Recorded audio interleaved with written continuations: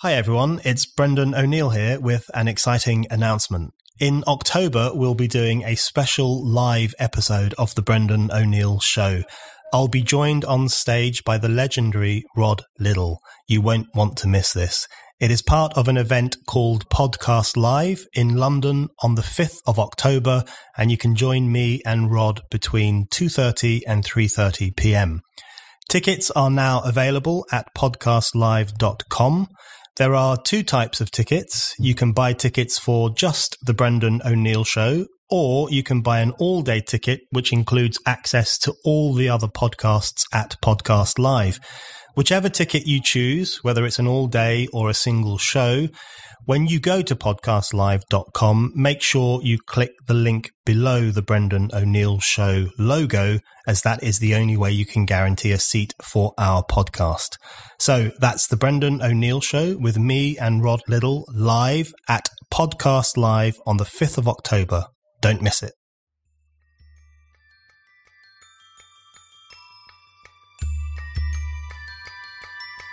The old word is treason. We are engaged in a highly contentious negotiation with a strong and united and determined opponent. Mm-hmm. A large part of the British political elite have deliberately gone and negotiated with them against their own country. This is another aspect of the elite that I find disgusting. Most of them hate their own country. They regard people with absolute contempt.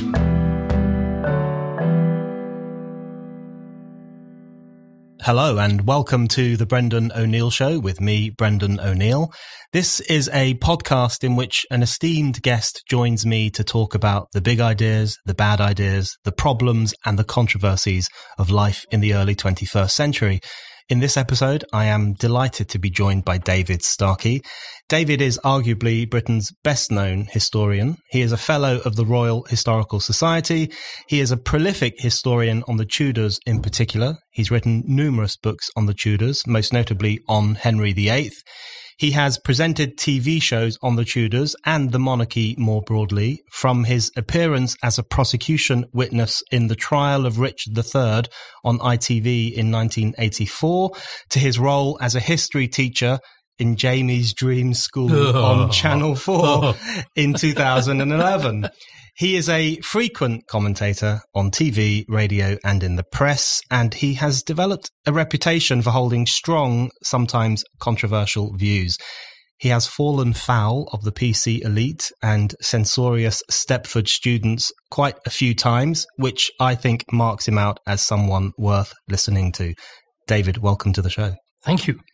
I want to start off by asking you about what's happening right now at the time that we're recording this. So last night, Parliament was prorogued and it went into some kind of meltdown. There was, the scenes were absolutely nauseating on one level and chaotic and crazy and infantile, where you had MPs holding up signs claiming that they have been silenced and booing and hissing and saying shame as Parliament was suspended, presenting themselves pretty much as victims of a coup like attack on the sovereignty of Parliament and on their rights as our representatives.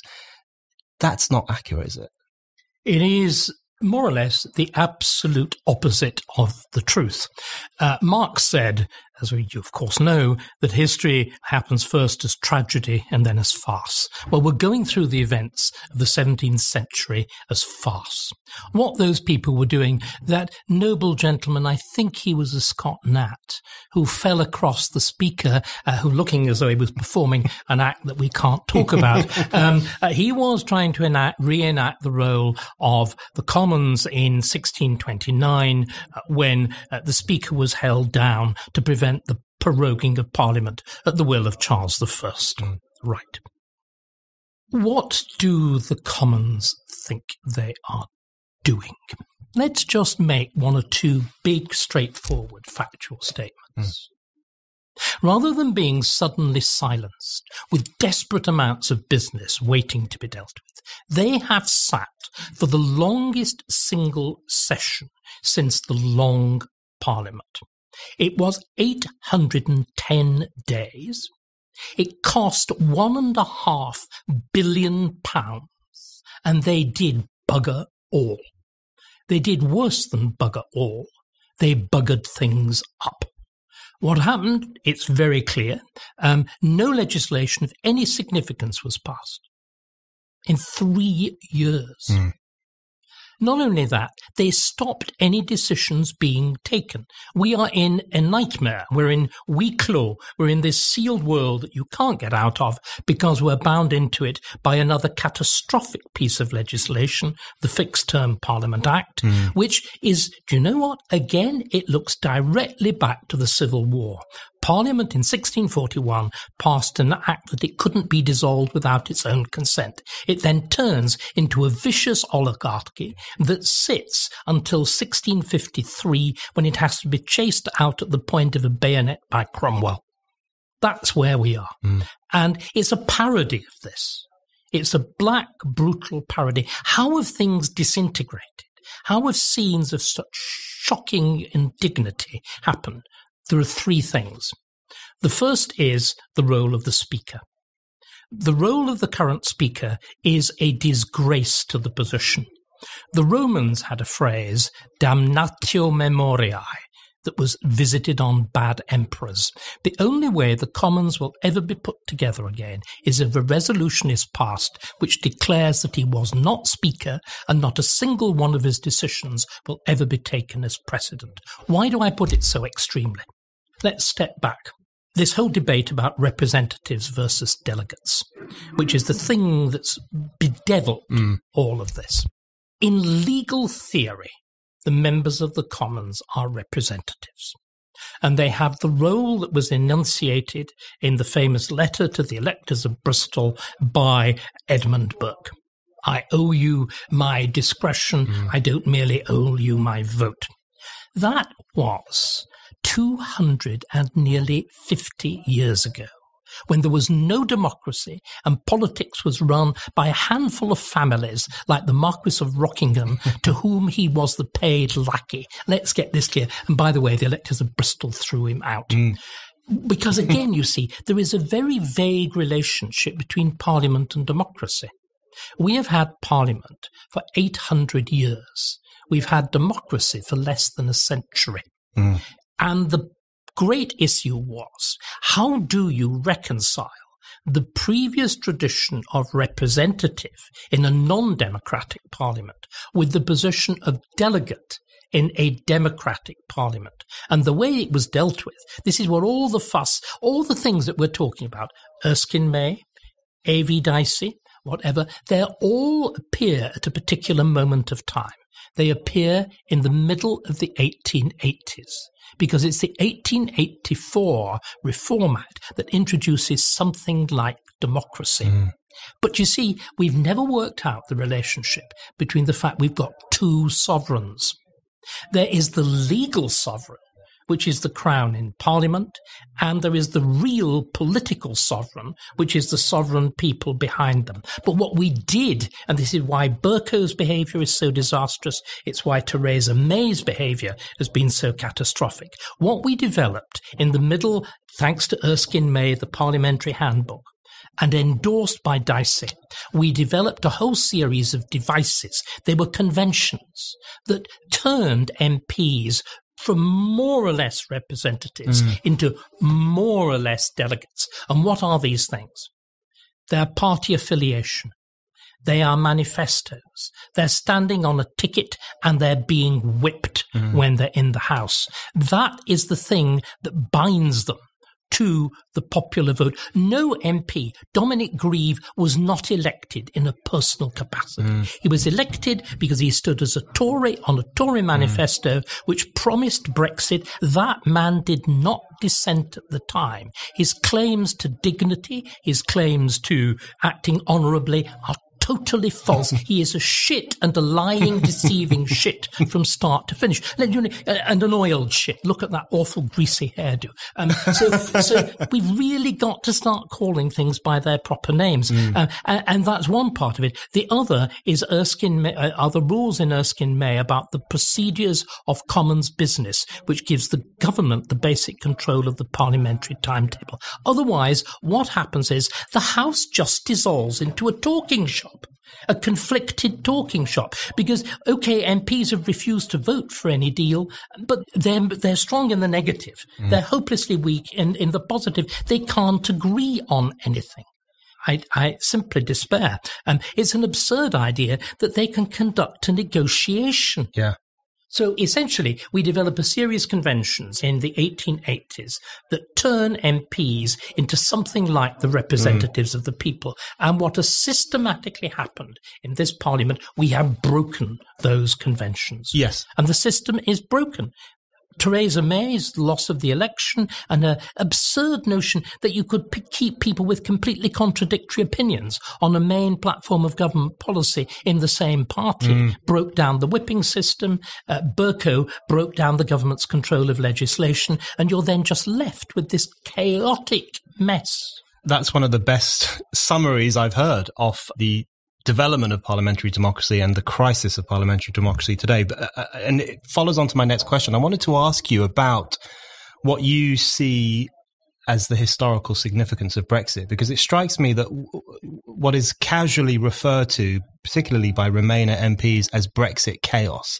You know, this is the big hashtag on Twitter, tw- hashtag Brexit chaos. Actually, is is one of the great benefits of Brexit, which is is that it has brought back to life a lot of unresolved questions of history. And in particular, the terrifying, but terrifyingly so. Yeah, terrifyingly so. I mean, it's like it's lifted a lid off this pressure cooker, which had been bubbling away for a hundred years, probably eight hundred years, and everything has exploded into the open. Uh, uh, uh, I think that's a good thing in the sense that it has raised all these questions yeah, of what good, Parliament is it for. It would be a good thing if there was any conceivable possibility of an answer. This is what is truly, truly frightening. You're in a position where, again, because of the Fixed Term Parliament Act, mm. that Parliament can't be dissolved without its consent, of actually being locked into this. It's, as I said, it's huis clos. It's like a bad 1960s drama. It's the kind of thing that I produced when I was an undergraduate. At, oh God, they were awful, but, but you, you, get, you, you get the idea. And there is no visible way out. And there's another big point that I would, well, the two other points I would like to make. The first is that we've got the history of Parliament completely wrong. Mm. Remember, parliaments, we used to think that the peculiarity about England was that it invented this wonderful thing called a parliament, which gradually all the slower, more retarded nations of the world caught up with, or we kindly gave them, you know, uh, along with speakers' wigs and all sorts of funny things when we freed the coloured population of the globe, and they were shockingly ungrateful for it. anyway, um, this is a totally false picture. Everywhere in Europe has a parliament because the Middle Ages, being in many ways much more sophisticated politically than the ancient world, had the principle that which touches everybody must be decided by everybody. Mm. Why then isn't there this multitude of antique parliaments like ours, all sitting there in neo Gothic buildings in every capital of Europe? Because they were all abolished. Mm. Why were they abolished? The Dutch Estates General, the Cortes of Aragon, uh, the Diet of Poland. Why were they abolished? Because they were hopelessly confused, inefficient, divisive, and wrecked good government. We did something completely different. We made our parliament an instrument of government. Mm. So this myth that the job of parliament is to hold the government to account, to give free rein to backbench MPs, to essentially imitate in a bigger or lesser fashion the behavior of the 17th century parliaments is the absolute reverse of the truth. The parliaments of the 17th century are not typical of English parliamentary history. They are, thank God, the total exception. And again, it's this, this, this insane fondness of the left for struggle and revolution, which are actually horrible and terrible things as one looks at the consequences of every revolution known, apart from the non-revolution, which is called the American Revolution. The, the point about the Civil War, the struggle between king and parliament, every fool thinks parliament won it. Sorry, they didn't. Parliament did not win the Civil War, the army did. It led directly to a horrible military dictatorship, the most unpleasant and dangerous regime in English history, that is the thing that's responsible largely for the horrible relations uh, between uh, Britain and Ireland. And do you know what? Parliament was abolished virtually as soon as the monarchy was got rid of. So we're dealing with a myth of Parliament. Mm. And one of the great problems is that huge building the Houses of Commons, which is decorated in a committee presided over by the Prince Consort, advised by a man called Henry Hallam. Nobody now remembers who Henry Hallam was, but he's the author of the Constitutional History of Great Britain. And it presents this view of Parliament and the grand struggles between Crown and Parliament as being the birthplace of English liberty. And you get those huge, boring paintings uh, that, that happily are now sort of fading and falling from the walls and being preserved at vast amounts of money recording this this this grotesquely inflated vision mm. of itself. Yes, I, I, want to stick on Parliament just for a bit longer because it is fa- obviously it's a very fascinating institution and an incredibly important one. You have written about the way in which, for a long period of time, voters had a choice between basically two elitist factions, you know, and that's been British politics for a substantial number of years and decades, in fact. And you argued that one of the potential positives of Brexit, or at least one of the consequences of Brexit, is that it has made it rather clearer that actually one of the great divides in this country is Parliament versus the people, and the complete aloofness of the parliamentary class and the political class more broadly. Do you think that's one explanation for why we are witnessing such a hysterical meltdown among the political class, as as shown in the scenes in Parliament uh, the day before we're recording this. They feel like their position has been exposed. They feel utterly adrift from the the lies and the and the pose and the acting they used to do, and now they are struggling a great deal to justify their position they're not actually making any attempt to justify their position at all. When did you last hear any kind of rational account of what has happened? There has been no justification. On the contrary, they are absolutely invincible in the belief that they are right, because you see, they've discovered an idea. The world, as Keynes said, is ruled by ideas. They've discovered this idea called the rule of law. Mm. The rule of law bears an extremely strong resemblance to the rule of lawyers. Yes. A great many of them are very, very well paid lawyers. And it is an absurd idea applied to the extent that they are applying it. And you know what? The judges have suddenly begun to waken up to yeah. the fact. If you look at the fate of that you know, the ludicrous Jolyon Maugham, the the uh, the attempt in Scotland, the appeal to the Court of Session to strike down the prorogation, there was an extremely clear succinct and forceful judgment that held up, I think, a, a mirror of shame to the English Supreme Court with its diffuseness and its flatulence, uh, which you'd expect from 12 judges, um, all determined to have their voices heard. And what the Scottish judge said was very simple. There is a political sphere and there is a legal sphere. Mm and they deal with different things in different ways, and we are going down a deadly route if we confuse them. I'm astonished that Geoffrey Cox, this supposedly miracle working Attorney General, hasn't been on the airwaves saying this mm. the whole of the time. We again go back to the 17th century. We go back to the resolution of these terrible conflicts of the 17th century, which took them, remember, from the beginning of the century till very nearly the end. It, there is something like 90 years years before the Glorious Revolution of 1688 89. But in the Bill of Rights, which set out the new rules, I think it's Clause number nine said that proceedings in Parliament shall not be impeached or otherwise questioned in any other court or place. Right. Now, that was not simply a license for Tom Watson to utter barbed and disgraceful libels on innocent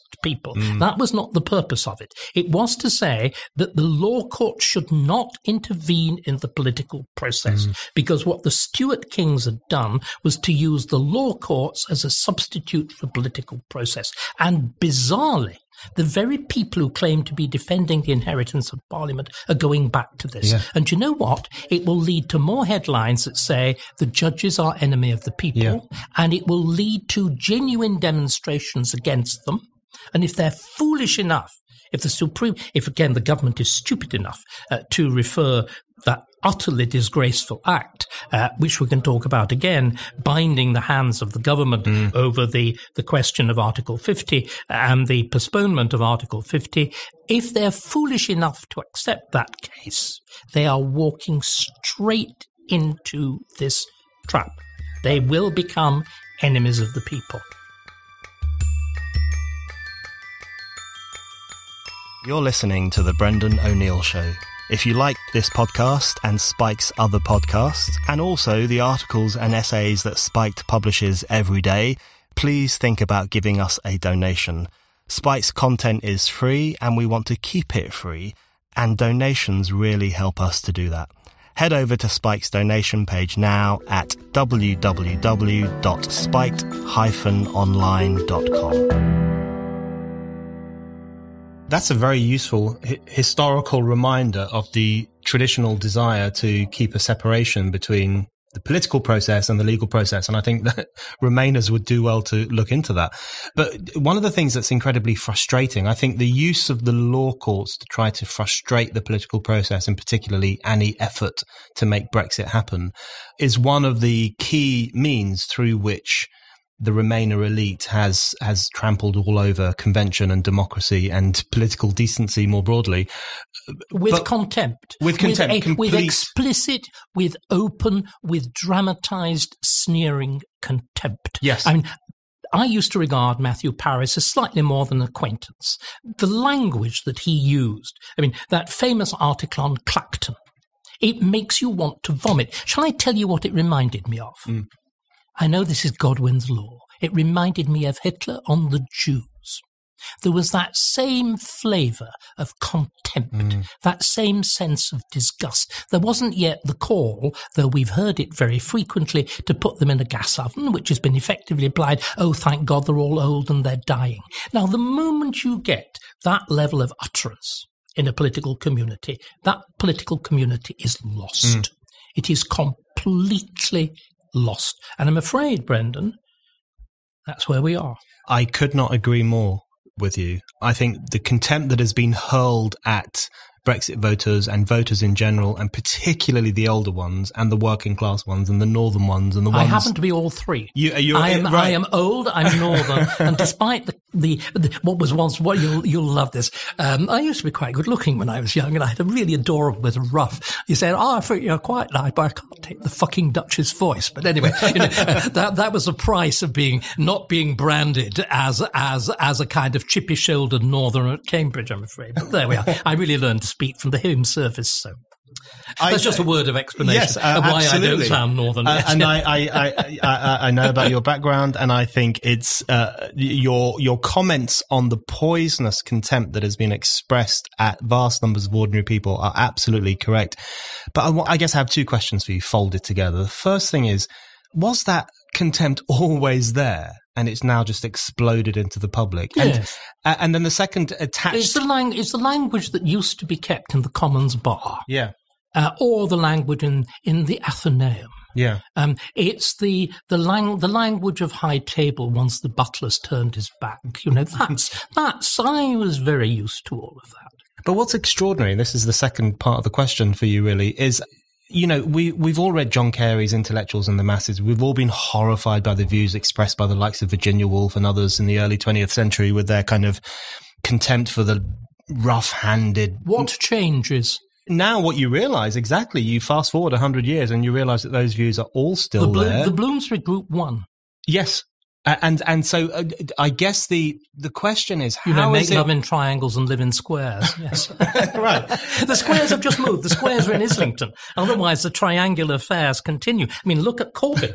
I guess the thing that I struggle with, and I'm sure lots of people struggle with this, because there are people up and down the country watching the shenanigans in Parliament, watching these people say these really unspeakable and dreadful things about the populace, and they are wondering how can you people get away with presenting yourself as Democrats, as as the decent section oh, of the political elite. The... They are representative Democrats. You see, there is this, te- and again, now let's re- re- let's now start turning the coin the other way around. There are genuine problems with democracy. Mm. If you go back to the establishment of the Constitution of the United States, one of the most impressive collections of documents that have ever been written on the nature of political communities, their longevity, what makes them rise, fall, disintegrate, they're the Federalist Papers, and particularly the, the contributions of Madison and Alexander Hamilton. They are totally aware of the fragility of democracy, that democracy can too easily turn, as it will do under Mr. Corbyn, into the rule of the poor or the sort of poor, the marshals of the poor, the pigs of George Orwell. and has there ever been a better example of those pigs uh, than, than that lot? Uh, uh, the, uh, of the poor over the rich. Um, they knew that no democracy of the ancient world or the Middle Ages had ever lasted. And they did deliberately construct a system of checks and balances that was forms of indirect democracy. In other words, this is why you have that separation between the mass electorate of the President of the United States and the Electoral College. Mm. It's why you have the Constitution of the Senate. And originally, the Senate in America was even more remote from the democratic process because before whatever amendment it was that's passed, I think, in the wake of the First World War, the Senate was not directly elected. The Senate consisted of two representatives from each state legislature who were sent up. So it was three steps away. And so it is fair to look at that. And there are measures of truth in this. Mm. You do need checks and balances in a system of government.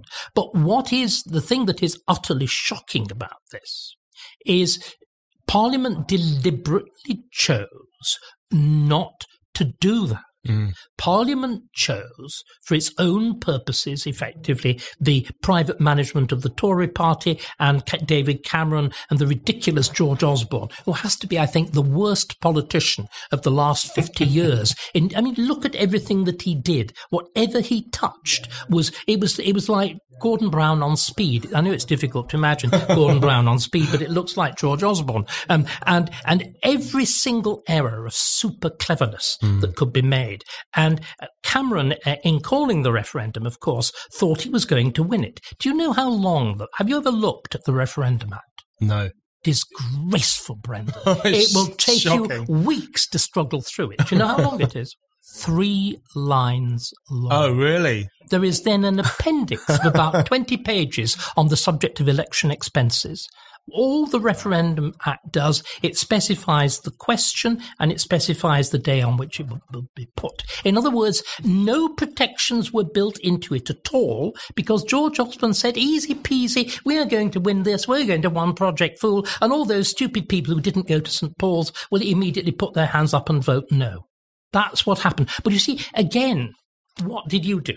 In theory, and I had this debate with, with, with Helena Kennedy this morning. In theory, yes, the referendum is advisory because of the sovereignty of Parliament.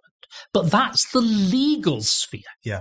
The political sphere was that Cameron said publicly and repeatedly, we will honour the results of the referendum. And the leaflet went to every house in the country. That is political. Yep. At the moment, the legal sovereign refers itself directly to the political sovereign on a key issue, on a binary vote.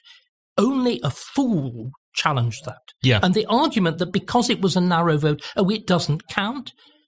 Every single general election is a vote of a few percent, one yeah. way or another. The landslides of Blair were all secured with a fraction of the number of voters for leave. Mm. We've got degrees of deceit, of chicanery, of double talk, because simply they did not like the result. I, I, and they saw it as an act of rebellion. Yes, I think that's absolutely correct. And I think that distinction between you know the technical correctness of saying you see i think this i think brendan this is something we should all be going on about yeah i mean I'm delighted to be doing this because I think what we now need, and please, uh, Dominic Cummings, listen. You got a first in history and you were taught by my friend Norman Stone. We need, the next months needs to be a crash course of historical explanation it needs to be a crash course of historical explanation about the nature of government, about the nature of representative democracy, about its relationship of the legal sovereign to the political sovereign. Because you know what? I believe people understand this. Mm. Unlike most politicians, mm. I go round and I talk to whole theatres full of people. Ordinary people, clever people, thick people. Do you know what? There's a degree of passionate involvement. Mm people want to talk. They want to debate. They're not James O'Brien's. Thank God. They, they really aren't. They're mm. prepared to listen. Yeah. They're prepared to question. They have knowledge and experience themselves. And any politician who, instead of throwing slogans at them. You know, we throw slogans at the people like bread and circuses, yeah. the imperial contempt of the political classes and the opinion posters. They are like the Roman emperors of the decadent age.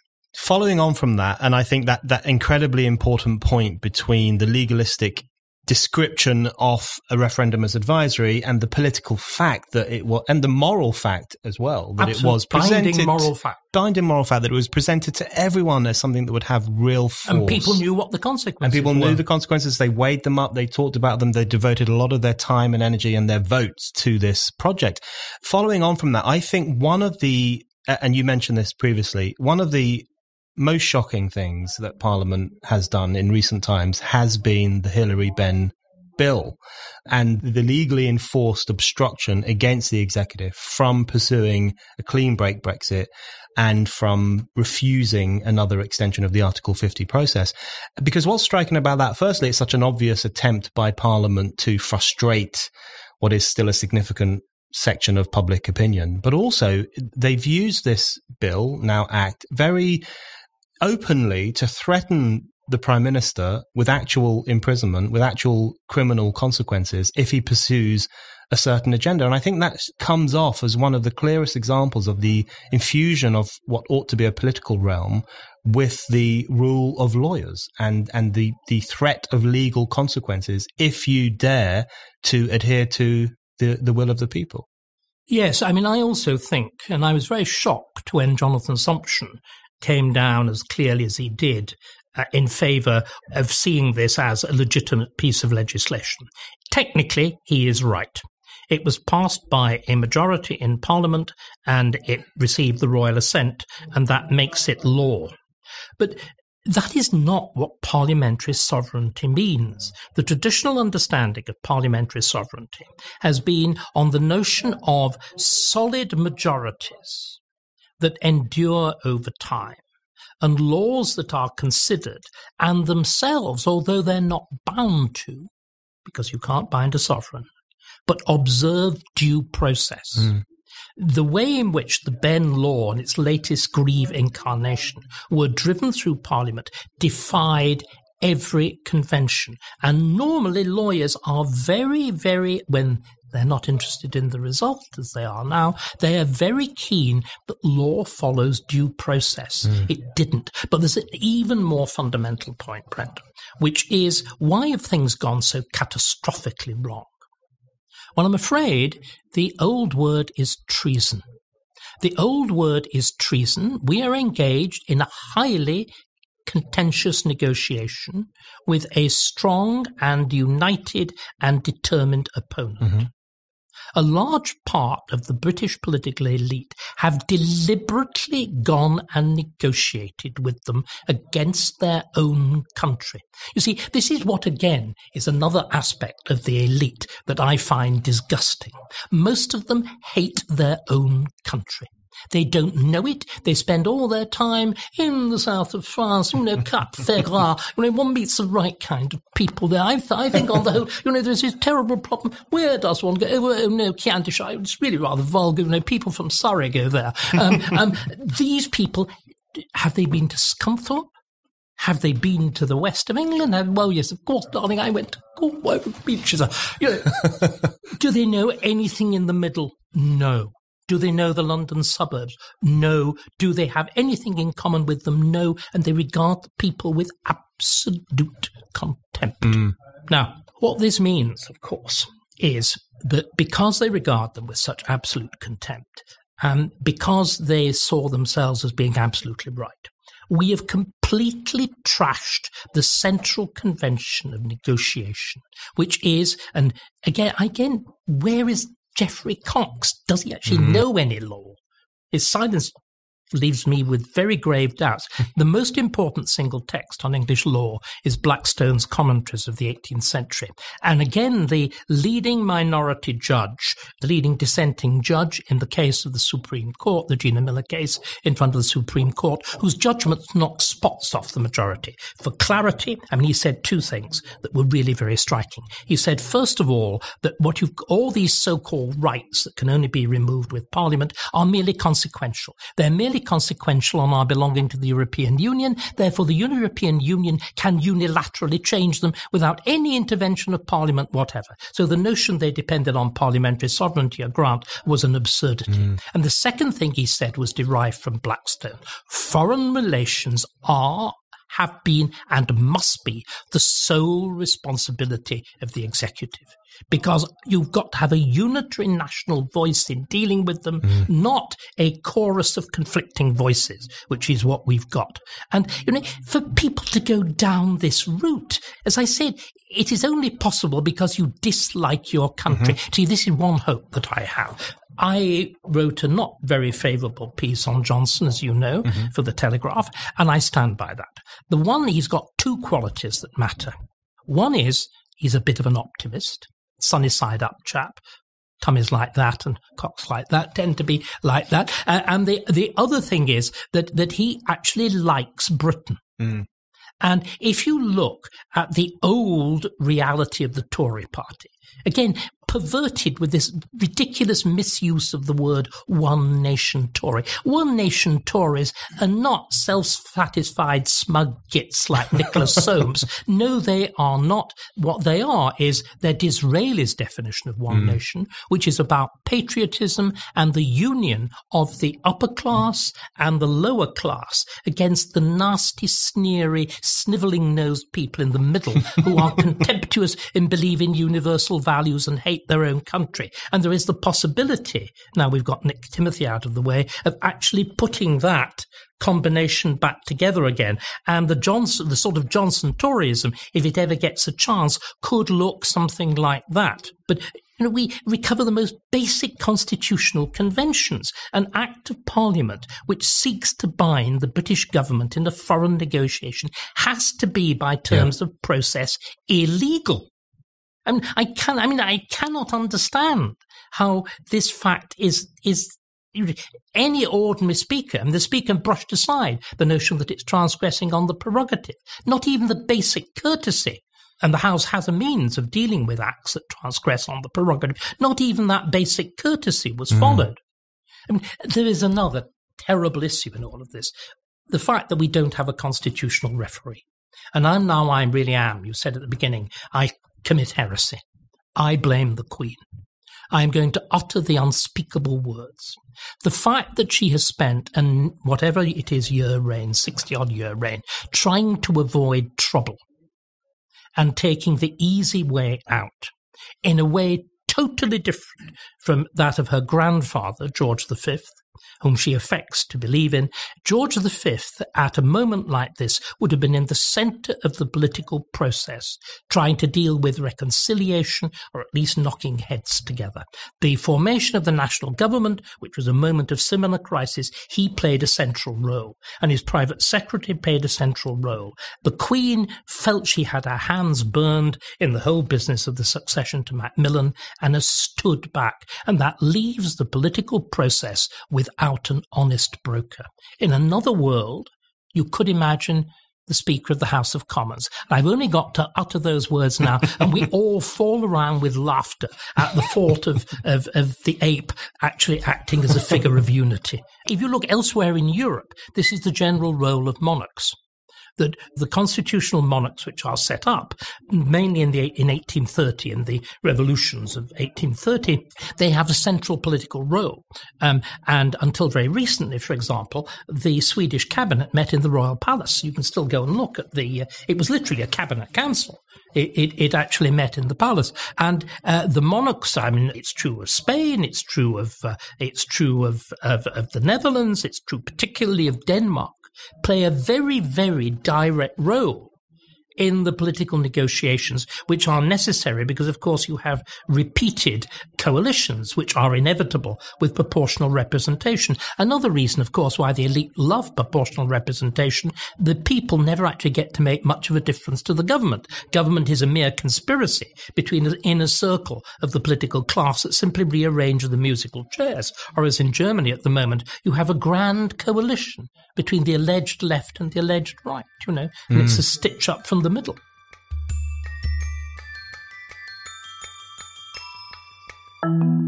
You're listening to The Brendan O'Neill Show. Subscribe now so that you never miss an episode. And it would be great if you could give us a rating and maybe even a review. That is a really good way to help new listeners discover the show. You said a word there which I mean, many things you've just said. said let, many words. Let out, words. let out at me. Uh, uh, but one word in particular is treason because it's. it's all, I think terrible it, word to use, but it's true. It, it, I think it's completely true, and I think your description. I, I, I, think your description of these people as as loathing their own country and more importantly their own country folk is very true, and that's one of the one of the great attractions of the European Union for that class right. of people was precisely that they could. Oh, and it's a culture. Outsource. It's all about European culture. You know, the English, are really rather brutal, nasty people. You know, um, and you just go into a bar in France, you know, people can drink and they're civilized and they eat pate, uh, and you know, they just occasionally, you know, I occasionally go to these awful places. You see them drinking. You know, they're they're sick and they're. I mean, really, what kind of place do we come from? It's absolutely, absolutely accurate. Uh, but you, you will be aware, and this is one of the questions I wanted to ask you, that when, when you use words like treason or when the Daily Mail says enemies of the people, when the Daily Mail used to be an interesting, more interesting newspaper than it is Rather, I mean, when it lately. Hadn't, when it hadn't been taken over by Geordie Greig, yes. of course, who is absolutely in the middle of people like that. Exactly. And, you know, even if you say saboteurs or any, uh, use any kind of Oh, strong you're, language, you're, you're, you will be condemned as a fascist. So there's uh, one of the side issues, I think, although it's actually not a side issue at all. It's, it's, it, I think it's central to the current project of this elite is also not simply to push through all these undemocratic, uh, contemptuous anti-people measures, but also to control what you can say about them. Absolutely. And to, uh, and even now I've discovered when I've said this is now parliament versus the people, you will be shot down as someone who is stirring up trouble, who is provoking violence and so on. So the name th- Cox will be thrown at you. Exactly. This, this universal passepartout. Yes. Yeah. What's your response to that? You simply carry on saying what you want to say. I'm going to carry on saying what I want to say. I'm not. I am not bound to anybody. I don't have a position uh, in a university. Uh, I have lots of honorary positions, and they they choose to remove them. Fine. I will not be silenced. I'm independently not rich, but I'm independently well off, and I will say what I want to say, and I will say it as clearly and forcefully as I can. And we haven't yet finished with Parliament. Mm. Uh, one of the other things that's gone wrong is, of course, basically, why do people misbehave? What is the central reason that people misbehave in that inane and childish fashion that we saw last night? Fundamentally, because they've got nothing to do. Parliament basically has nothing to do. Therefore, it's filled with idle people who do two things. They get drunk on an absolutely monumental scale, look at the bills for Commons hospitality, and secondly, they fornicate. Um, look, look at the number of cases of MPs, and it's only a tiny, tiny fraction of those who commit this. Um, and the other thing they do is because there's one group that is especially totally underoccupied, who are the Scottish MPs who don't really have constituencies, have no constituency work, and of course the whole affairs of Scotland are dealt with by this preposterous Scottish Parliament. So the only purpose of the, is it 53, 58 or mm. whatever it is, Scottish MPs in Westminster is to make trouble They have no other function and no other purpose. It is again yet another disastrous legacy of Blair. But if again, if you look at the English Parliament, it is uniquely costly. It is proportionately the most costly legislature in the world. The House of Lords is the largest apart from the People's Assembly of China. Can you imagine? let me, let, us continue. Um, it sits roughly twice as long as Congress, which has got to rule America and the American empire and they have make weight days. Did you remember the whole fuss about the note that Boris, again, disgracefully forced into the public domain with that absurd case in Scotland? The note that he scribbled about prorogation, the business about um, uh, Cameron being a big blouse. Mm. Do you mm. remember what it was about? The scribble was on it saying that Cameron was a was a big girl's blouse for allowing Parliament to sit in September, and I think the phrase was to give the buggers something to do. That what we've got to remember is with Bercow's absurd pushing of the backbench MP, the backbench MP by definition is a slightly brighter version of Jared O'Mara. I mean, he seems to me to be fundamentally typical of backbench MPs. And the fact that he has been out of it for mm. What? Has there been a complaint from Sheffield Hallam? Has Sheffield Hallam disintegrated? Are the people wandering in rags and you know, scattering ashes upon their heads? No, they are not. So MPs are fundamentally overpaid and underemployed.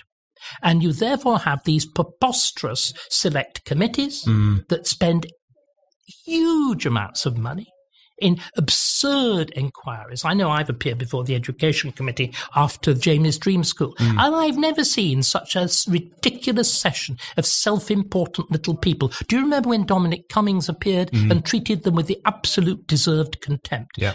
Contempt of Parliament used to be a crime. It's now a moral obligation for anybody who is sensible. Um, and again, these debates in the annex to Westminster Hall, they're just literally talking shops. And what again, because these people know no real history, mm. this is going right back to what I said at the beginning, parliaments that just become conflictful talking shops are abolished. And it's not just medieval history.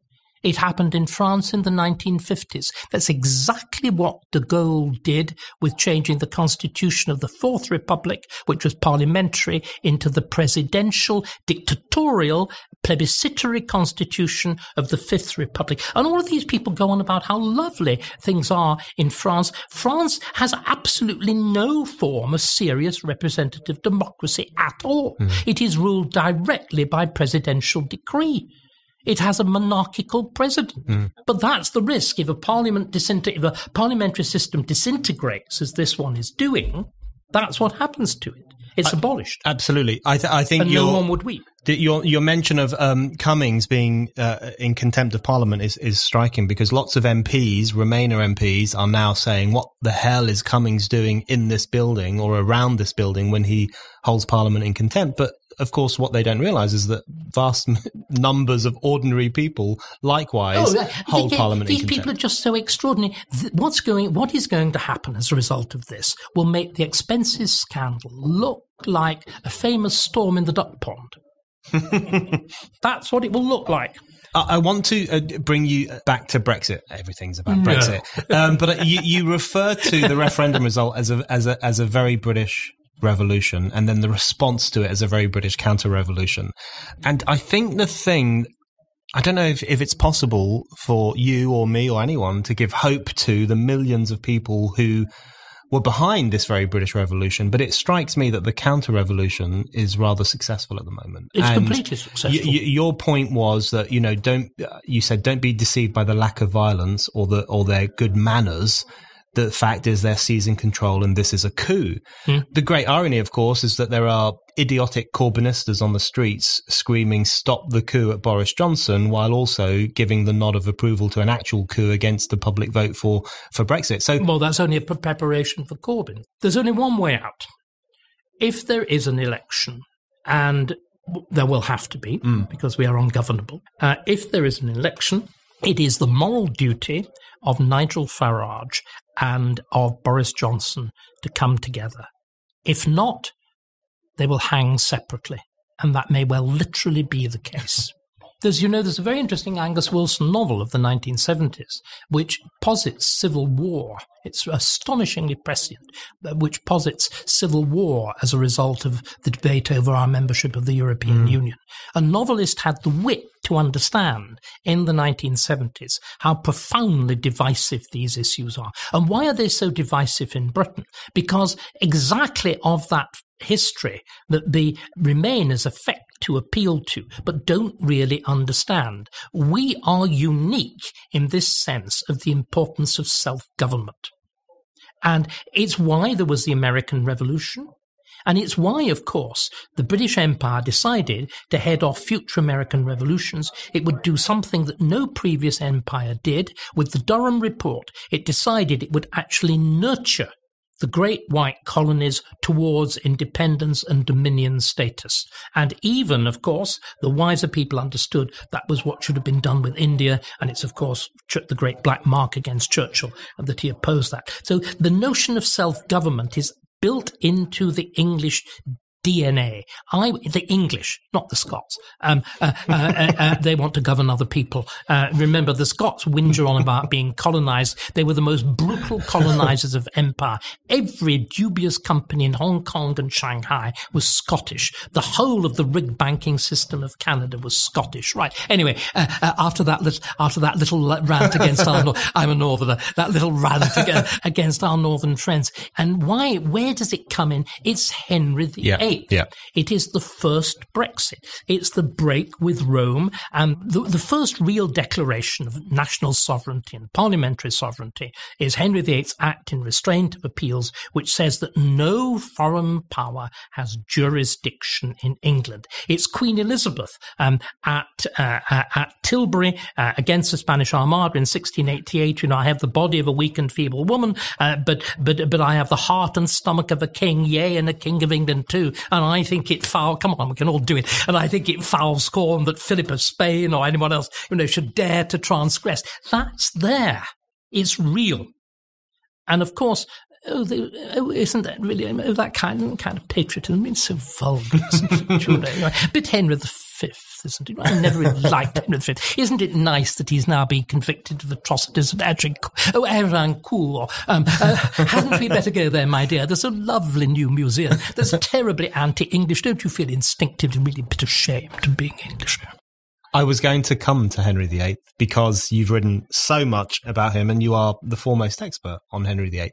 And one of the things that you say, as you've just said now, is that in some ways the Reformation in England and, and Henry's break from Rome sowed the seeds of what has become Euroscepticism. And Hmm? I, I, think 500 years of propaganda. Yeah, I remember my mother. Uh, my mother was a typical Northern Puritan, though she didn't realize it, uh, uh, and and a product of all of this. And my first school trip was to Rome.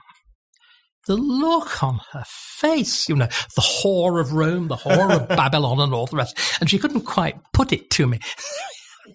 I was 12 or 13. I still remember my mother. Rome wash your hands. They have very funny toilet habits. and you know, all, all of, all of that, all of that propaganda. But there's another point, Brendan. Now let's be serious. But it's very important to laugh about these things as well. But let's again be quite clear. This is what is so shocking about the perversion of the notion of parliamentary sovereignty. Mm. Parliamentary sovereignty was created to further national sovereignty. Yep. And the notion you can separate parliamentary sovereignty from national sovereignty is a, is a vile antithesis. You cannot do it. And of course, the Remainers do it all the time. Yeah, that was my next question because it strikes me as so patently ridiculous. This notion that the people who are currently devoting their every waking hour to keeping us in the European Union, to keeping us in this globalist, oligarchical, explicitly anti national, anti-democratic, anti-nation state institution. They, Empire. I mean, my old, colleague, my old colleague Alan Sked, uh, you know, was who is a real founder of UKIP and the man, of course, who destroys the English political career of Chris Batten and deserves the plaudits of the nation for so doing. He said the EU is an empire. And it's like all multicultural, multilingual empires. It's serviced by a multilingual elite who view the, the populace below them, who are a lot of monoglot peasants, with absolute contempt. Mm. It's as simple as that. Absolutely. It's as simple as that. And the, the, the absolute farce of these people claiming to be defending parliamentary sovereignty at precisely the time that they are weakening national, National sovereignty. sovereignty. It's, It is, it is absurdity. It is, uh, but again, you see, it's because that most of them read PPE at Oxford, which means they are fundamentally politically illiterate. It's a, de- it's a degree designed for the totally superficial, like Cameron. When Vernon Bogdanor said that Cameron was his most brilliant student, I think that tells you everything you need to know about Oxford PPE. I have one more question. I have a million I more hope you questions. didn't. I hope you didn't do PPE. I didn't do PPE. You're forgiven. Um, I have a million more questions, but only time for one more, which going back to the points you made incredibly well earlier on about the absolute blind, stinking, seething contempt that these people feel for the masses, for people in Scunthorpe, for people in Merthyr Tydfil, for people around the country. It strikes me that one of the one of the most striking things about Britain in the 21st century, but also a thing that makes perfect sense, is that we have a political elite, a political class, a media class who have no appreciation whatsoever for the ideal of national sovereignty and its relation to parliamentary sovereignty. And we have vast numbers of ordinary people who do have an appreciation of that and, and an understanding That is the of only that. thing of hope. As I said to you, the possibility of the reconstruction of the Conservative Party as Disraeli imagined it. Between those of us in either the educational or the, the as it were, uh, the elite by birth, who actually believe in Britain, love the country, have that. I can't walk past the Abbey without that sense for a thousand years. I try to give it in the programs that I make. I try to give that sense of it's what Burke was really about uh, that a nation is a community, a contract of past, present, and future. The, the sense that we are standing on the shoulders of these people uh, and their achievements, and they are part of us, and we will hope to pass them on. Um, and that absolute shallow contempt that assumes that the past is nothing, that the past of one's own country is nothing, and mere abstract reason.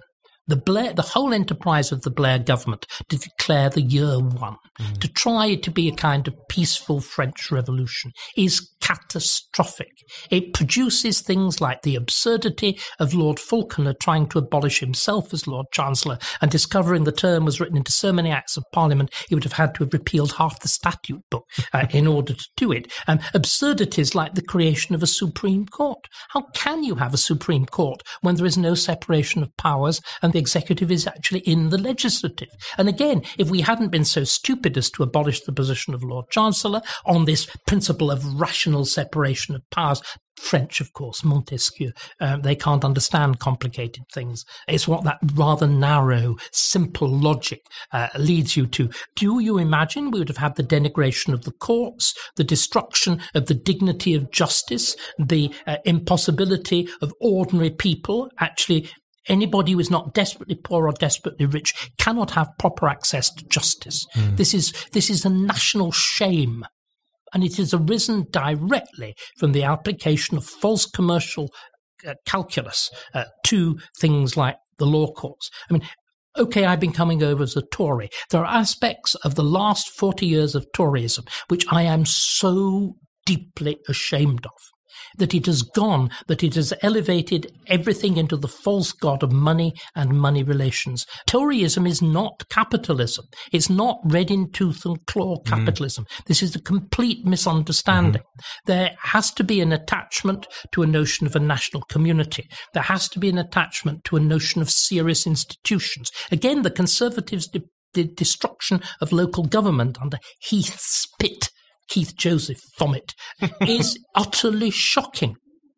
The counties, as any Yorkshireman will tell you, are absolutely central to the history and the lifeblood of England. You deliberately destroyed their legislative function. That is not a conservative act. That is an act of destructive, hyper-rational liberalism.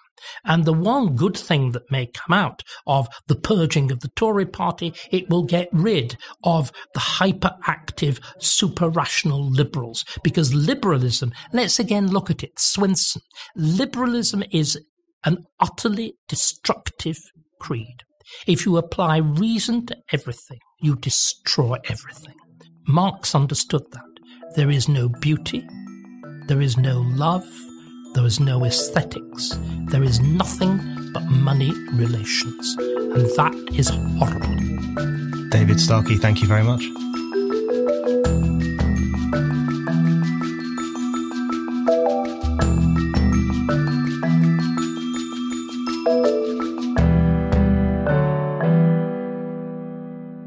Thank you for listening to The Brendan O'Neill Show. We'll be back with another guest and more discussion. Don't forget to subscribe, and in the meantime, keep reading Spiked at www.spiked-online.com.